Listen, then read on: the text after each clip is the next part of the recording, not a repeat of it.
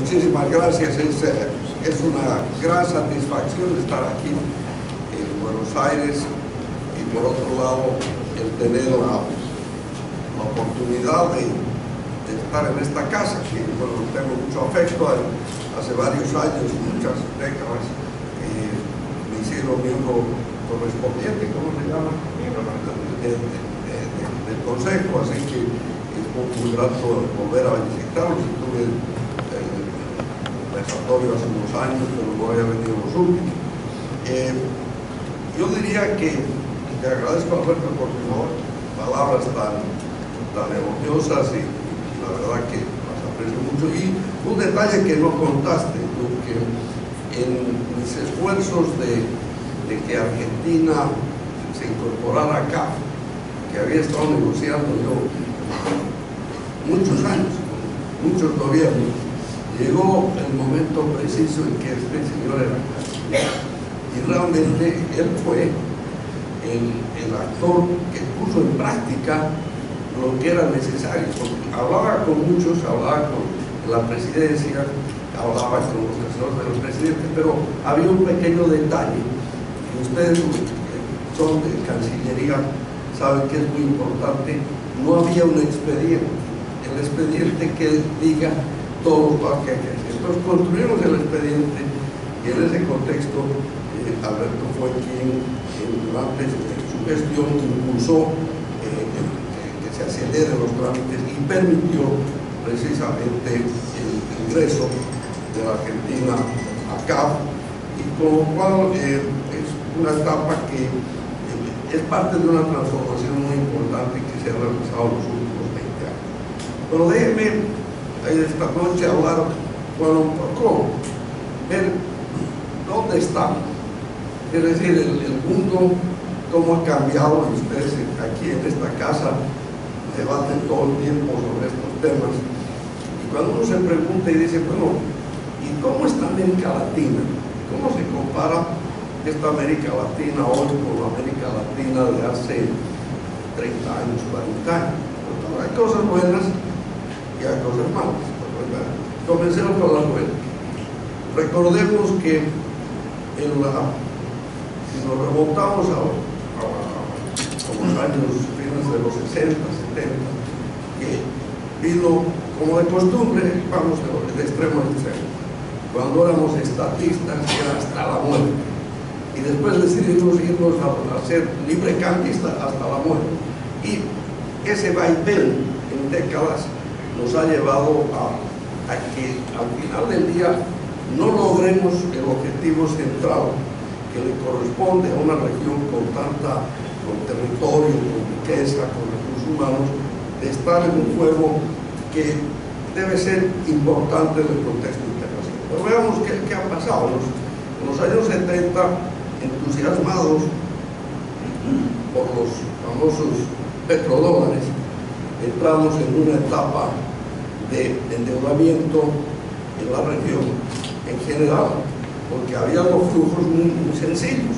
Entonces, bueno, aquí tú lo sabes muy bien, ¿no?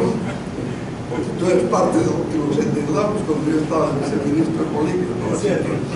Y eso nos lleva a, los 80, eh, que la explosión de la crisis de la deuda en México y eso conduce a América Latina como región a una etapa que tuvimos que enfrentarnos a procesos de hiperinflación eh, muy serios, se tuvo que, hacer un ajuste de una magnitud muy grande al extremo que como lo definimos, Enrique Iglesias puso ese, ese nombre, la década perdida fue una década muy dura, fue tremendo, pero había que hacer.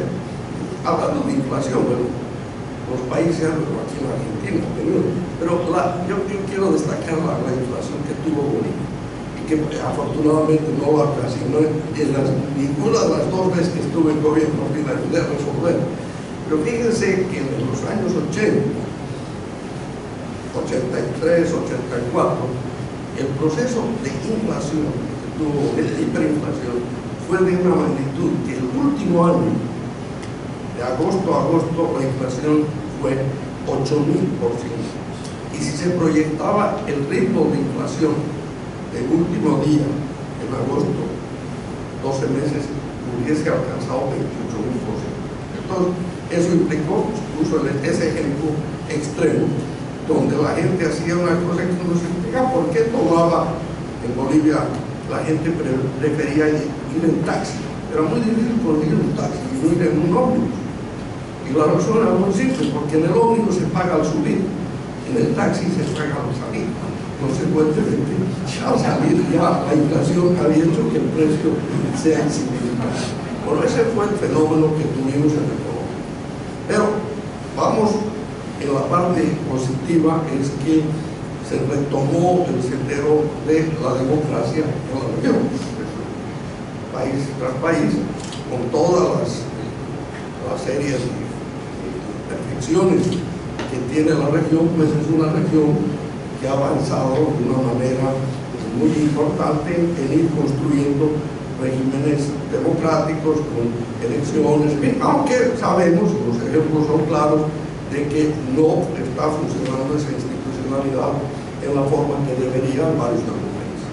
Esa es la parte, la parte Ahora bien, vienen los años 90, y los años 90 hubo un renacer muy importante en la esperanza de, habiendo salido de estos procesos inflacionarios, habiendo salido el tema este de la década perdida y había una cierta homogeneidad en, las, en, los gobiernos de ese momento, hay un entusiasmo en hacer reformas, reformas importantes que lleven a estimular un crecimiento económico mayor y una apertura de la economía. Y ahí nace eh, en el tema que es tan importante para la región, que es la integración regional, se da un vuelco muy importante, porque si analizamos como resultado de, la, influencia que tuvo la política de Raúl Previs en los años 50, eh, la integración regional apareció en los 60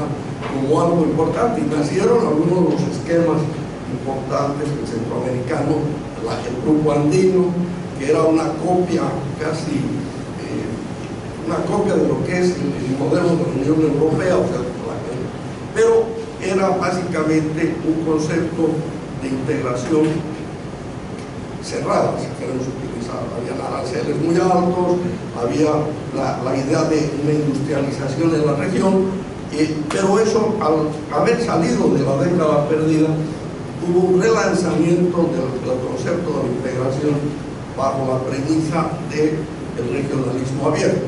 Y es así que, por ejemplo, en ese momento lo que era el, grupo andino se volvió comunidad andina y se incorporaron como, miembros a, países los que hoy día países del Mercosur como miembros asociados. Y nació el Mercosur bajo esa misma premisa. En esa década también se tuvo el entusiasmo y se estaba negociando el tema de Alarca y todo eso.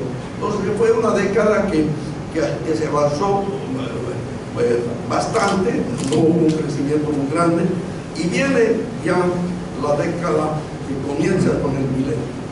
Y ahí pasan varias cosas que son muy importantes en el plano económico. El plano económico es que la mayor parte de los países tienen un, manejo macro razonable. Y cosas que hasta hoy en día existen, al margen de algunos casos aislados si uno revisa la calidad de los equipos económicos de América Latina, va a ver que son equipos que toman el tema macroeconómico como un tema importante, un tema serio, y en efecto no hay, con pocas excepciones, no hay una no hay crisis profunda en la región. Bueno, pero ¿qué, qué sucede? Viene el gran factor chino. Y el factor chino implica que hay una alta demanda por las materias primas, productos de, con gran riqueza que tiene América Latina y especialmente Sudamérica, y eso hace que esos precios, como suban a niveles tan altos, que tenemos una bonanza excepcional.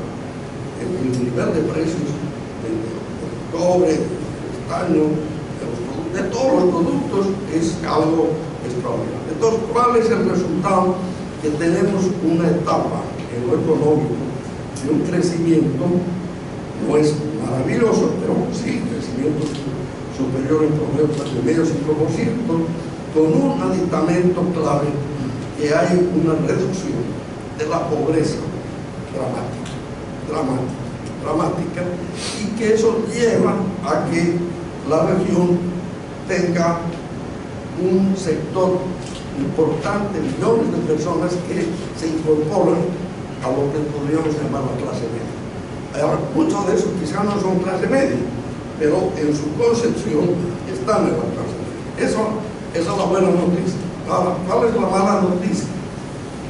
Que perdimos la cabeza. Dijimos, esto es para siempre. Eh, por suerte, la, organización que presido por el momento, podríamos, me queda poco. Eh, hemos sido muy cautelosos en ese en las cumbres presidenciales y todo, para decir, sí, lo estamos haciendo bien, pero, pero, digamos, el modelo que tenemos, para los que son economistas, es un modelo tradicional de ventajas comparativas, tradicionales, que depende mucho de los precios de las materias primas y la volatilidad es la que define tu sueldo. No se hicieron los esfuerzos para dar ese salto tan importante que es el de pasar de ventajas comparativas tradicionales a ventajas comparativas dinámicas y ventajas competitivas, donde se lleva a temas de tecnología, de innovación, un tipo de educación que implique preparar a la gente con habilidades y capacidades que les permitan insertar en las cadenas de valor que pueden existir en el momento. Bueno, pero de todas maneras fue bien. Entonces viene los últimos años. La mala noticia es que se acabó ese ciclo. Entonces, de golpe, vemos que está creciendo unas tasas eh, como promedio de la región 4,5, 5%, hay una caída y especialmente en economías grandes, el caso de Brasil y obviamente el caso de Venezuela. Y el caso de, la Argentina también es un caso muy importante, tuvo muchos años de un crecimiento relativamente alto y hubo un ajuste y que continúa y que afortunadamente espero que salga adelante. Entonces, esto nos lleva a este nuevo escenario en un momento en el cual el mundo ha cambiado. Entonces, nosotros debemos mirar eso con, mucha cautela, porque además, ¿qué pasa con la integración? Que a ustedes les interesa. Con toda franqueza hay un retroceso fundamental. Si me preguntan a mí, de más de cinco décadas o más, que he estado vinculado a todos los procesos de integración, yo puedo decir que al margen de que hay cantidad de reuniones, cantidad de cumbres, cantidad de instituciones, es en, lo concreto uno de los peores momentos.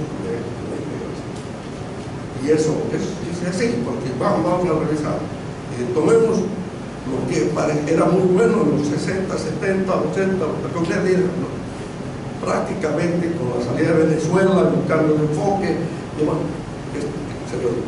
Mercosur ha estado popular, ustedes lo saben. Hay una noticia positiva que me daba alguien que está en esta sala en este momento, una, reunión de, cancilleres de que se realizó hoy día, que aparentemente ha sido muy positiva en temas más concretos.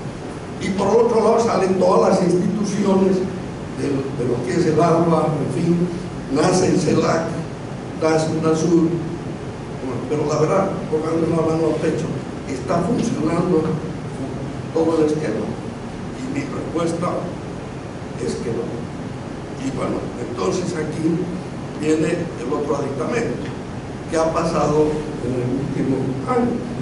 Las tres sorpresas interesantes, importantes. Primera sorpresa, el Brexit. Segunda sorpresa, la trompada, o sea, que gana el Trump. La tercera, también, es importante, que por ejemplo, el proceso de paz de Colombia, de pronto hay un referéndum que se pierde. Entonces, ya no se sabe qué, qué va a. Entonces, veamos lo que ha pasado en el último mes. Veamos la política que está imponiendo la nueva administración de Estados Unidos. Obviamente es una política que lo pone una luz muy clara de alarma porque estamos hablando de cerrar fronteras, estamos hablando de problemas migratorios, de proteccionismo, en fin, eso poner especialmente a los buenos amigos mexicanos en una situación muy compleja, puesto que va a haber en el tratado de Marca y en relación a Europa, en todos bueno, esa es la mala noticia, pero ¿cuál es la buena noticia?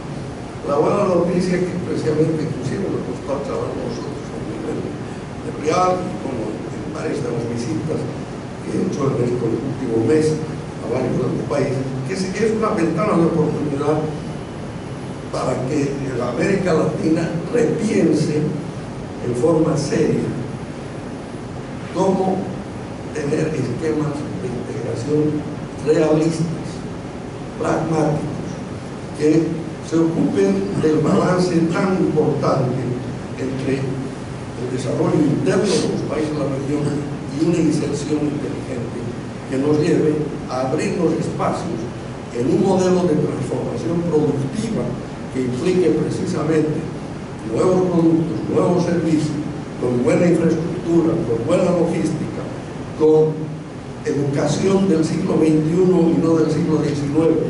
Todos los que estamos aquí, la mayor parte, somos, buenos intelectualmente, hacer mucho, pero necesitamos más de otro tipo de gente. Los que tienen en inglés la palabra skills, eh, habilidades para poder responder a los desafíos no de, este año, de los próximos 20 años.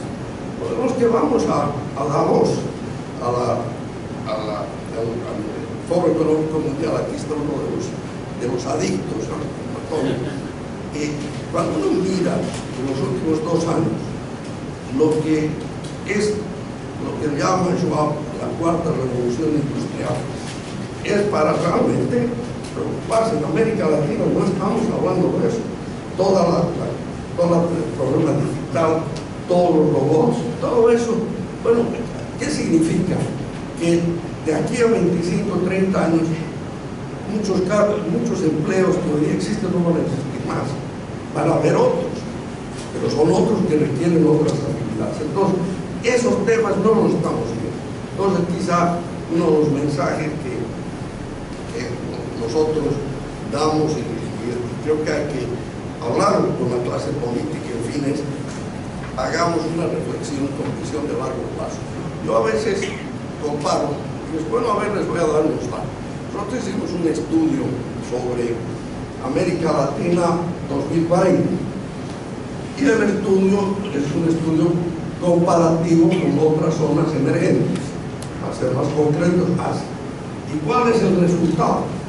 El resultado es que América Latina, hemos hecho muy bien, pero comparemos con Asia, ha sido una cosa tremenda. Voy a dar un ejemplo. Corea, en el año 1966 tenía un ingreso per cápita de 400 dólares. ¿Cuál era su soporte? La ayuda de los Estados Unidos, USA, Bueno, hoy día tiene un ingreso per cápita de 23 mil, 24 mil dólares. Es una de las 20 economías más. Bueno, ¿Cómo lo hizo? Ahora, claro, ustedes van a argumentar, evidentemente, lo hizo, lo que voy a decir se hizo porque tiene un sistema, no tiene el sistema democrático que tenemos en América Latina, estrictamente hablando, o un país como Singapur. Pero puso énfasis en que un tema de infraestructura, infraestructura, infraestructura y logística.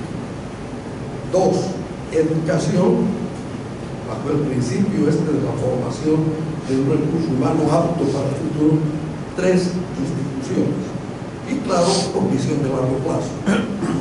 Porque muchos de estos cambios no son, no puedes realizarlos en un plazo de 3, 4 años, lo cual significa que tienes que tener la institucionalidad que permita a nivel nacional y a nivel regional mecanismos para que sectores diversos ideológicamente, en, aspectos de, visiones de, de, desarrollo, lleguen a acuerdos sobre temas fundamentales sobre los cuales no se puede improvisar.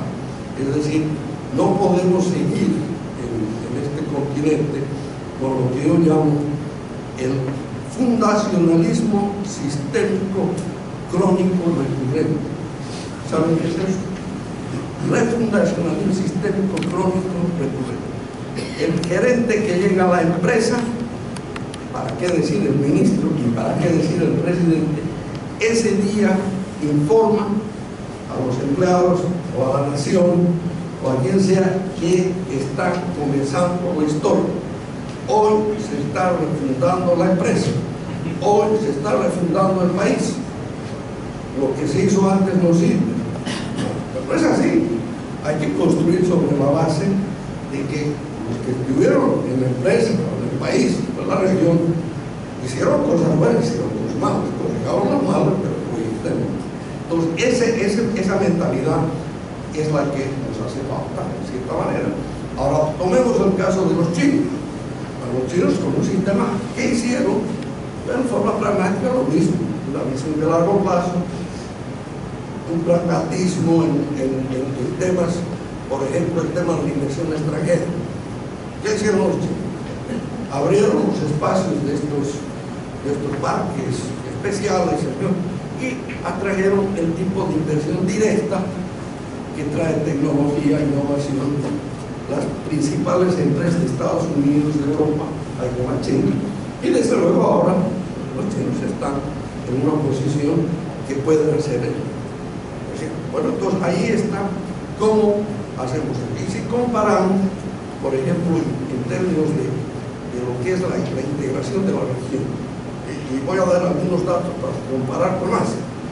¿Cuál es, el, ¿Cuál es la capacidad de ahorro interno que tiene América Latina? O sea, el ahorro de los hogares, las familias, las empresas, sean públicas o privadas, y el gobierno. Es un promedio 18, en las años de bonanza 20%. Los chinitos, no es que van a ser chinitos, pero 45% de ahorro. Obviamente eso significa que no hay consumo suficiente, no eso no queremos hacer, pero 20 es muy poco. Pero la inversión, ¿cuánto invierte América Latina en relación al producto? Lo mismo, promedio 20. Algunos de los países, está viendo las cifras de los últimos años, están en inversión 17-18%. Hay algunos casos, porque hay unos proyectos muy grandes, el caso de Panamá, el Canadá, que tiene 26-25%. ¿Cuánto deberíamos invertir? Tampoco quiero que invertamos como los chinos. 40%, 27, 28, 12. Bueno, otro caso, la productividad. Nosotros, si tenemos los cuadros nuestros, si tuviese ese bendito PowerPoint que se usa tanto ahora, ahí veríamos que no, lo hemos hecho bien. Pero veamos lo que hicieron nosotros. Bueno, vamos a al, comercio intrarregional. ¿Cuánto es el comercio interno en América Latina? 18%. ¿Cuánto es el comercio en, Europa? Bueno, 70, 70. En Asia, que era bajo, ya está en 40, 45. Vamos a casos exitosos, por ejemplo, entre los modelos de, de cooperación actuales uno que tiene sex appeal, digamos, es, que ha estado funcionando de forma pragmática en la Alianza del Pacífico. Sin embargo, ¿cuánto es el comercio intrarregional en la Alianza? No llega al 5%. Entonces, aquí la pregunta es, ¿cómo construimos una base que nos permita producir bienes y servicios que nos sirva no solo para estimular la demanda interna, sino para insertarnos prosperar de forma. Entonces, la conclusión además que ese, ese trabajo lleva es que si América Latina quiere tener una convergencia en términos de ingreso per cápita con los países más avanzados y industrializados, o aproximarse en los próximos 30 años, no puede crecer en promedio a menos del 5%. Pero no solo crecer, crecer en un modelo que es diferente, que es de calidad. ¿Y de calidad qué significa? Que tiene que ser eficiente, o sea, productivo, que tiene que ser incluyente, porque ese es uno de los problemas para la equidad, que tiene que ser sostenible ambientalmente. Entonces, esa es un poco la, la, conclusión. Entonces, ahora, ¿cuál es la preocupación que podemos tener? Dadas las circunstancias que hemos tenido en los últimos dos, tres años, en que el crecimiento de la región, como región, promedio, ha estado así negativo hace un año y este año así marginalmente positivo. Hay que hacer una, una, una calificación embargo. Ahí pesa mucho la caída que ha tenido las economías de Brasil, Venezuela y Argentina con un crecimiento bajo, digamos, una recuperación. Si quitamos eso, de todas maneras el crecimiento está en un promedio de 2,5%. Si seguimos por ese rumbo, las noticias son muy graves. Porque va a suceder? Va a suceder que los logros que se tuvieron, primero, lograr esa convergencia no va a ser posible. Segundo, los logros que se tuvieron en crear esa clase media maravillosa se van a perder y eso va, va a caer y van a volver a niveles de pobreza. ¿Y eso qué quiere decir? Que entramos a la tercera, a la crisis que para mí quizás es la más importante. Existe una crisis política en la región la institucionalidad democrática está siendo cuestionada, los partidos políticos, los actores, los intermediarios. Y parte de eso se debe a que existe esto. Hoy día es más fácil usar los tweets para convocar una manifestación masiva. Y tal es así que varios actores de la política, voy a citar el señor Trump, dice esto. Mi amigo Almagro también de la dice esto. Es el instrumento apropiado no. Entonces, pero ¿cuál es el sustituto y cómo se puede trabajar de una manera que se permita lograr que la, base social de los países tenga un respeto a la institucionalidad? Y desde luego, aquí viene ya la mezcla más negativa de todo, todo el, problema de percepción de falta de transparencia y corrupción. Que es, este es un problema que ustedes todos los días leen cómo este tema está, está minando, está llevando a dificultades en la institucionalidad de los muchos de los países región. Entonces, este es un poco el cuadro.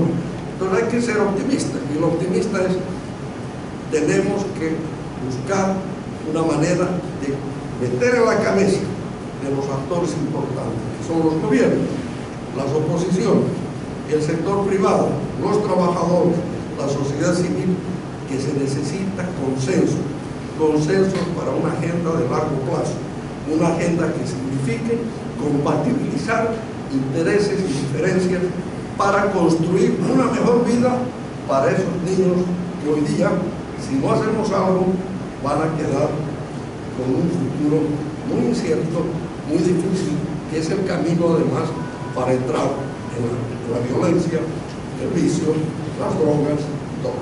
Entonces ahí está. Entonces aquí viene un poco para qué existen estos organismos como el mío. Existen precisamente para ser un núcleo que no solamente debe ver el financiamiento, los recursos financieros, sino que debe tratar de ser un vehículo de inculcar políticas públicas productos y servicios que signifiquen dar seguridades de que las acciones que se van a tomar van a tener un impacto positivo en el crecimiento, en la equidad social, en la sostenibilidad ambiental. Y aquí un comercial, ¿qué es CAF? Aquí, gracias Alberto por haber sido tan efectivo en, ayudarnos. Eh, es una, el caso de CAF es una institución que demuestra que los latinoamericanos tenemos capacidad de construir instituciones si lo queremos hacer.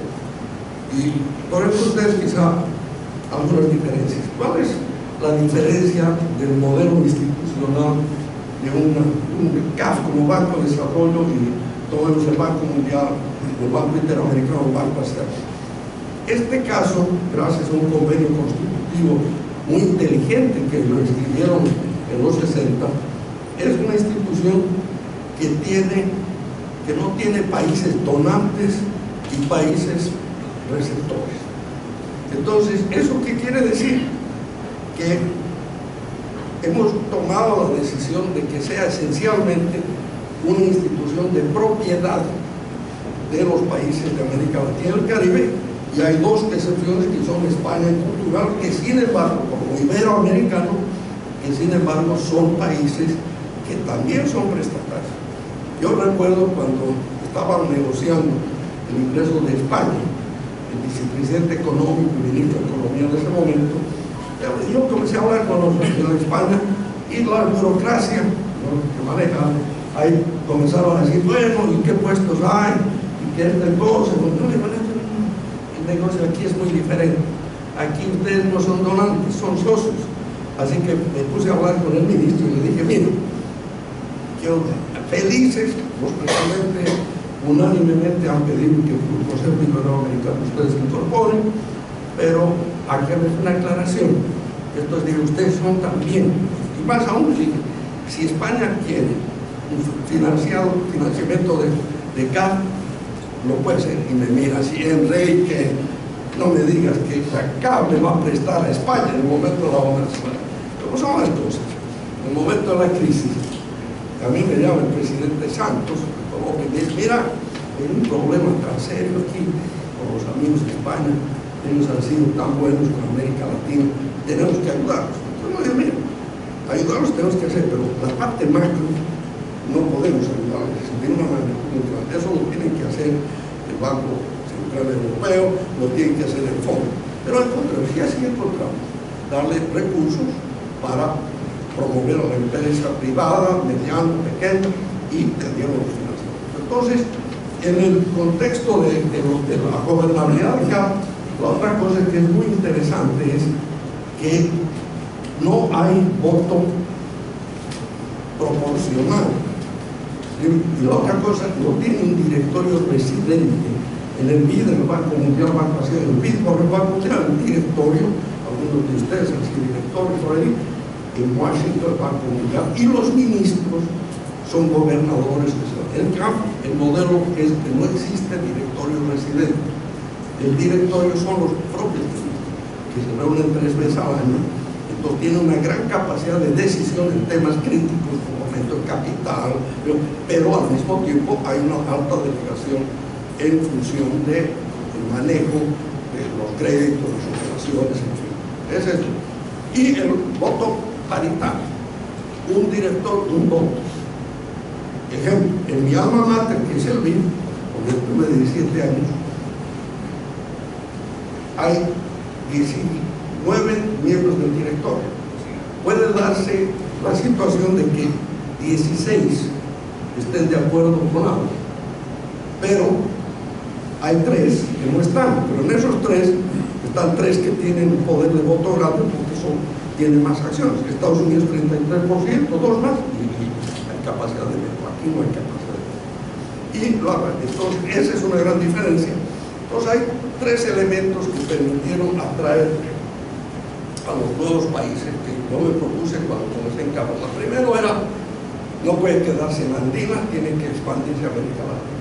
La segunda tiene que estar en temas relevantes al desarrollo que en ese caso es infraestructura para comenzar.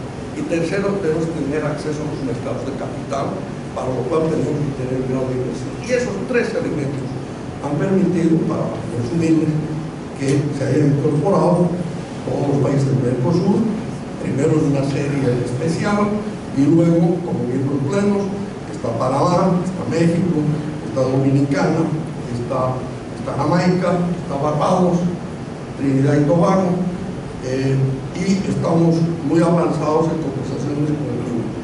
Las Así que hay una necesaria. Y eso no significa, sin embargo, que tengamos excelentes relaciones de cooperación, pero no de, de decisiones corporativas en países como Estados Unidos, Canadá, los europeos, China, Japón, Rusia. Entonces, este es un poco el, el, el modelo que tenemos. Y volviendo al tema central, creo que estas instituciones, al igual que el Banco Mundial, el BID y las otras, tienen y van a tener rol muy importante en ayudar a reorientar este proceso para llevarnos a que podamos hacer esa transformación productiva y al mismo tiempo que podamos fortalecer los procesos integración. Una parte que no podemos hacer pues de los países, tiene que haber una reforma política que permita el logro de mecanismos de consenso para lograr que los países y la región avancen en una dirección correcta con miras a lograr eso. Así que me quedo aquí está abierto a que hagan preguntas, buenas preguntas, malas respuestas. Muchas gracias.